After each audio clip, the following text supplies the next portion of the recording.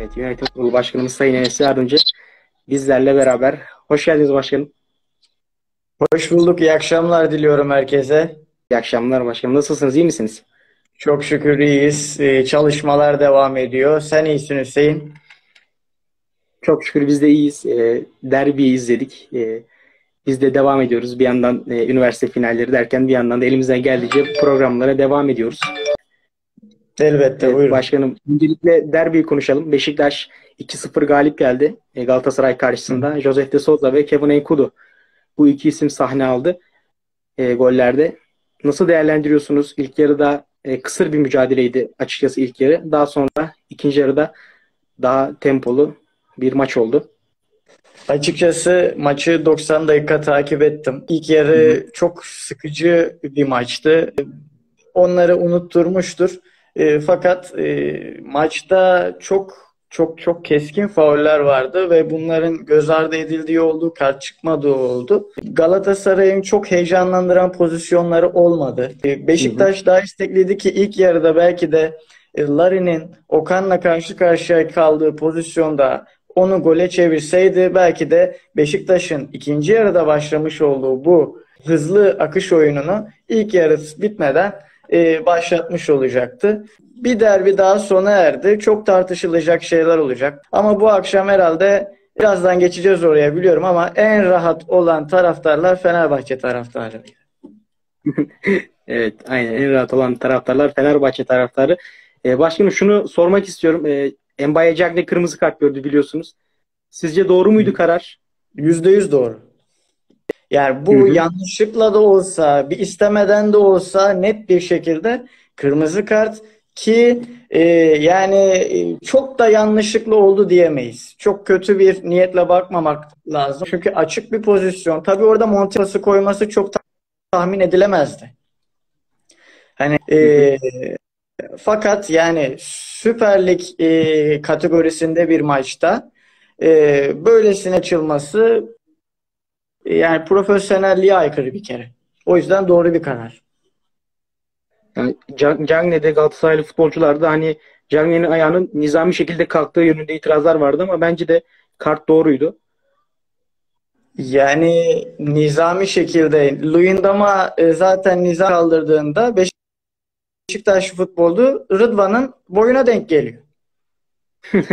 Evet. Yani kim, kime göre nizami o da tartışılması lazım. Sonuçta bir risk var mı? Var. O zaman yani bunun e, rengi kırmızıdan başka olamaz. Peki başkanım Cüneyt Çakır'ın performansını nasıl değerlendiriyorsunuz? Cüneyt Çakır açıkçası az önce bir yorumda da okudum. Cüneyt Çakır yaşlanmış. E, tabiri bence de doğru. E, bazı fauller var. E, komedi unsuru. Yani gerçekten yazılı filmi yapılabilir. Komedi fauller var. E, Hı. tuhaf kararlar var. Hakemlerin, yan hakemlerin gözünün önünde olan e, durumlar var ve e, ona rağmen verilmeyen doğru kararlar var. Çok tuhaf. Bence de Cüneyt Çakır yaşlanmış. Elbette Avrupa'da çok daha iyi e, maçlar yönettiğini ben de söylüyorum. Ama bu nedense Süper Lig içerisinde olmuyor. Yani evet ben de katılıyorum. Avrupa'da çok daha güzel maçlar çıkarıyor. Yani yaşlanmış mıdır? Evet yaşlanmıştır. Zaten bu fiziksel görünmeye de yansıdı. Başkanım Aynen öyle hakkında ama şu e, başka söylemek kurtulmamız lazım. Yani Hı hı. Fırat Aslar, Cüneyt Çakırlar artık bir yani e, bir artık bırakmaları lazım bu işi. Yani Cüneyt Çakır'ın e, bence mesela arkasına yetişebilecek e, bence bir hakem var. Benim e, nezdimde çok sevdiğim bir hakem. Halil Umut Meler var. Bence Cüneyt Çakır'ın yerini alabilecek bir potansiyele sahip. Benim naçizane düşüncem bu yönde. Öyle Türkiye'de hangi taraftara sorarsan sor e, dört dörtlük bir hakem söyleyemez. Hı hı. Hani benim maçıma şu hakeme verilsin diye bir tabir kullanamaz. Çünkü yani illaki e, ufak tefek hatalardan bahsetmiyoruz. Bakın bunu bütün spor programlarında konuşuyoruz. Konuşuluyor da. Ufak tefek hatalardan bahsedilmiyor. Yani bildiğin göre göre bile bile yapılan yanlışlardan bahsediliyor. E, ve bundan dolayı da hakemleri maalesef ki her hafta galip gelen takım da memnun olmuyor, mağlup olan takım da memnun olmuyor. Önceden sadece mağlup olan takım hakemi eleştirirdi. Bu ülkemizde yıllardır zaten böyle devam ediyor. Nasıl olur, nasıl gider de hiç bilmiyorum. Ama bence bu böyle sürecek. Yani hakemler yani robotik bir hakem gelmedi sürece, robottan yapılmış bir hakem gelmediği sürece bu itirazlar sürecek. Bu isyanlar devam edecek diye düşünüyorum ben. Geçen e, dün akşam yanlış hatırlamıyorsam Erman Toroğlu söyledi diye hatırlıyorum. E, şöyle bir tabir kullanıldı. Pardon pardon Erman Toroğlu değil Ümit Özat'tı yanlış hatırlamıyorsam. Ümit Özat şunu söyledi. Var odası var dedi. Ama bence var odasını da takip eden bir oda olması lazım dedi. Ve o odada da şu an aktif olarak hakemlik yapan kişilerin olmaması lazım dedi. Yani sahaya çıkan hakemlerden oluşmaması lazım dedi. Hani güncel hakemlik yapan e, kişilerin olmaması lazım mı dedi. Ben Aynen. ses gitti öyle mi dedi? Aynen yani öyle. Ona çok ka- katılan biri değilim açıkçası ama düşünülebilir. Derbi, derbiyi konuştuk. Dilerseniz biraz Mesut Özil'den bahsedelim. Yani yıllardır Mesut Özil Fenerbahçe'de her transfer döneminde e, bu e, transfer haberi yayılırdı. Ama bu kez oldu galiba. Kamuoyu aydınlatma platformuna da bildirildi sanırım. Doğrudur. Ee, yaklaşık bir saat önce kapa bildiri, bildirildiği haberi de geldi. Ee, yani çok özel bir haber. Rüyaydı, gerçek oldu. Birazcık çok klişe bir cümle olacak ama belki de Ali Koç'un rüya diye adlandırılmasının bir perde arkası vardı. Bilemeyiz. Hı hı. Yani olacağını belki de o çok iyi biliyordu. NTV'ye bağlandı Rıdvan Dilmen'in programına Mesut Özil. Sadece Fenerbahçe adına değil, Türk futbolu adına da çok önemli bir e, durum. E, çok güzel bir transfer. Gerçekten yani e, iş yapabilecek, e, elinde bence Fenerbahçe'nin elinde patlamayacak bir transfer. Yani ne kadar para verilirse verilsin hakkını verecek bir transfer. Gerçekten çok beğendim ben. Biz Aziz Yıldırım e, yönetimine de çok denk geldik. E, Aziz Yıldırım e, başarı olmadığında bile taraftarı mutlu etmeyi biliyordu. Bununla ilgili de başında Başkan Fenerbahçe Başkanı Sayın Ali Koç var.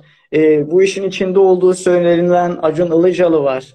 E, ve söyleniyor elbette bilmiyoruz ama e, Sayın Cumhurbaşkanımızın dahi bir katkısı olduğu söyleniyor. Emeği geçen herkese, taraftarlara, e, herkese teşekkür ediyoruz bu konuda. E, umarız Beşiktaş, Galatasaray gibi takımlarımıza da daha önce geldiği gibi yine bu tür fayda sağlayabilecek yıldız transferler gelir ve bu yıldız transferlerle de Avrupa'da iyi noktalara gelebiliriz diye e, umut ediyorum. Evet yani tabiri caizse Fenerbahçe ile Mesut Özil yıllardır flört dönemindeydi. Artık e, ciddi bir şeyler olmaya başladı. Şey konuşuluyor işte Alex geldiğinde. Yahu Alex geldiğinde Alex dünya yıldızı değildi. Bu bir. İkincisi Alex geldiğinde sosyal medya diye bir şey yoktu. Evet. Ve Alex geldiğinde e, şu anki taraftar kitlesi bu kadar takımını takip eden bir taraftar kitlesi değildi. E, çok doğru. Şu gerçekten. an bütün haberleri e, birebir herkes okuyor. 70'i. Herkes takip edebiliyor. Yani hem takip edebiliyorlar hem de e, bir kaynak haline gelebiliyor insanlar. O yüzden e, daha e, Mesut Özil'in daha çok gündeme gelmesi, daha çok konuşulması normal Alex de Souza'da. Hı hı. Bu kadar iyi kar- e, kariyere sahip olan bir Roberto Carlos vardı. E, ondan sonra e, Mesut oldu. Hayırlı olsun. Yani umarız gelmesi Fenerbahçe'de de bir şeyleri değiştirir. Çünkü şampiyonluğa hasret bir Fenerbahçe var. Başarıya hasret bir Fenerbahçe var. Ve inan bana mutlu olmaya, mesut olmaya e, aç bir Fenerbahçe var. Bu şekilde tamamlayalım. Çok da uzatmayalım. Diğer konumuza evet. geçelim. Diğer konumuz, son konumuz başkanım. E, Fenerbahçe Ankara gücü mücadelesi. Fenerbahçe Ankara gücü maçıyla ilgili hani herkes diyor ki rahat bir şekilde kazanılır. Açıkçası ben motivenin de düşünüyorum. Yani bugün bir Ozan Tufan'ın ben çok mutlu olduğunu düşünüyorum. Bugün bir Mert Hakan'ın çok mutlu olduğunu düşünüyorum. Altay Bayındır'ın çok mutlu olduğunu düşünüyorum. Teknik ekibin çok mutlu olduğunu düşünüyorum. Ee, ben de galibiyetin yüksek oranda geleceğini düşünüyorum. Fakat hı hı. eksikler inanılmaz derecede çok. Sakatlar inanılmaz derecede çok. Ee, bundan dolayı Fenerbahçe'nin yarın galip gelebileceğini düşünüyorum. Fakat zorlanabilir. Çünkü hava şartları sıkıntılı. Bugün Beşiktaş maçında da gördük. Yani futbolcuların biraz da oynayamamasının sebebi derecede oynadılar.